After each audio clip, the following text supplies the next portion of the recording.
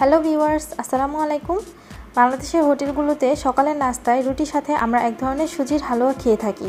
এটি খুবই মজার হয় আর এটি কিন্তু সবাই আমরা অনেক বেশি পছন্দ করে থাকি। আজকে আমি আপনাদের সাথে এই সুজির হালুয়া রেসিপিটি শেয়ার করব। আশা করি আপনাদের সবার কাছে অনেক বেশি ভালো লাগবে।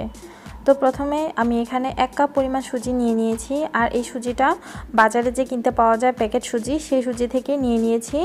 আর একদম লো হেটে আমি এগুলোকে ভেজে নেব এবং খুব ভালো করে ভেজে নিতে হবে। তিন থেকে চার মিনিটের জন্য এভাবে অনবরত নেড়ে চেড়ে ভালো করে ভেজে নিয়েছি। আর মনে রাখবেন, এটা কিন্তু নাড়া থামানো যাবে না, এতে করে নিচে পুড়ে যেতে পারে। তো এখানে দিয়ে দিলাম আমি প্রায় তিন টেবিল চামচ পরিমাণ সয়াবিন তেল। আপনারা চাইলে এখানে সয়াবিন তেলের পরিবর্তে ঘি ইউজ করতে পারেন। সেক্ষেত্রে দুই টেবিল চামচ পরিমাণ ঘি দিয়ে দিবেন। যেহেতু হোটেল স্টাইলে দেখাচ্ছি ও হোটেলে কিন্তু সয়াবিন তেল ইউজ করে, তাই আমি এখানে সয়াবিন তেল দিয়ে দেখাচ্ছি। তো ভালো করে ভেজে নেওয়ার পর এখানে দুইটি এলাচের টুকরা, দুইটি দারচিনি আর হচ্ছে একটি লং দিয়ে এভাবে আবার ভালো করে মিশিয়ে নিচ্ছি। তো এভাবে অনবরত নেড়ে চেড়ে প্রায় 10 থেকে পনেরো মিনিট আমি এখানে ভেজে নিয়েছি। এই পর্যায়ে দিয়ে দিচ্ছি হাফ কাপ পরিমাণ চিনি। চিনি দেওয়ার পর ভালো করে আমাদেরকে অনবরত নেড়ে চেড়ে এটাকে মিশিয়ে নিতে হবে সুজির সাথে। চিনি দেওয়ার পর দুই মিনিটের মতো ভালো করে ভেজে নিয়েছি। এখন এখানে দিয়ে দিব প্রথমে এক কাপ পরিমাণ পানি। তো এখানে মোট আমি দুই কাপ পরিমাণ পানি ইউজ করব। প্রথমে এক কাপ দিয়ে ভালো করে মিশিয়ে নিচ্ছি, তারপর আরেক কাপ দিয়ে দিব। এখানে কিন্তু আপনারা চাইলে পানির পরিবর্তে দুধ ইউজ করতে পারেন। কিন্তু যেহেতু হোটেল স্টাইলে দেখাচ্ছি, হোটেলে কিন্তু দুধ দেয় না, শুধুমাত্র পানি দিয়েই করে।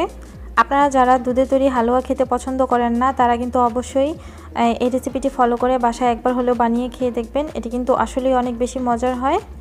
এই পর্যায়ে দিয়ে দিলাম হাফ চা চামচ পরিমাণ লবণ।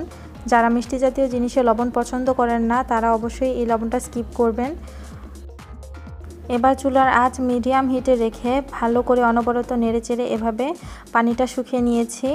আর আপনারা আপনাদের পছন্দ মতো নরম বা শক্ত করবেন। আমি আর একটু সময় পরেই নামিয়ে নেব, কারণ অনেকখানি কিন্তু পানিটা শুকিয়ে এসেছে। চুলার আজ মিডিয়াম হাই হিটে রেখে অনবরত নেড়েচেড়ে এভাবে পানিটা শুকিয়ে নিয়ে আপনারা আপনাদের পছন্দ মতো টেক্সচার দিয়ে নেবেন। তো আমি এই পর্যায়ে চুলা থেকে নামিয়ে নেব। মোটামুটি অনেকখানি কিন্তু শক্ত হয়ে গিয়েছে, আপনারা দেখতে পাচ্ছেন। তো এটা ঠান্ডা হলে কিন্তু আরও একটু শক্ত হয়ে যায়। তো এই পর্যায়ে চুলা থেকে নামিয়ে একটি পাটিতে পরিবেশন করে নিচ্ছি। তো এখন আমি আমার পছন্দ মতো কাঠবাদাম আর কাজু বাদাম দিয়ে ডেকোরেশন করে নিচ্ছি। আপনারা চাইলে এখানে পেস্তা বাদাম বা হচ্ছে নারিকেলের গুঁড়া শুকনো নারিকেলের গুঁড়া যেটা, সেটাও ইউজ করতে পারেন। তো এটা আপনাদের পছন্দ মতো। আশা করছি আমার আজকের রেসিপি আপনাদের কাছে ভালো লাগবে। ভালো লাগলে প্লিজ আমার চ্যানেলটি সাবস্ক্রাইব করে রাখবেন আর ফ্রেন্ডস অ্যান্ড ফ্যামিলির সাথে বেশি বেশি শেয়ার করবেন আমার অন্যান্য ভিডিওগুলো দেখার আমন্ত্রণ জানিয়ে এখানে বিদায় নিচ্ছি। সবাই ভালো থাকবেন। আল্লাহ হাফেজ।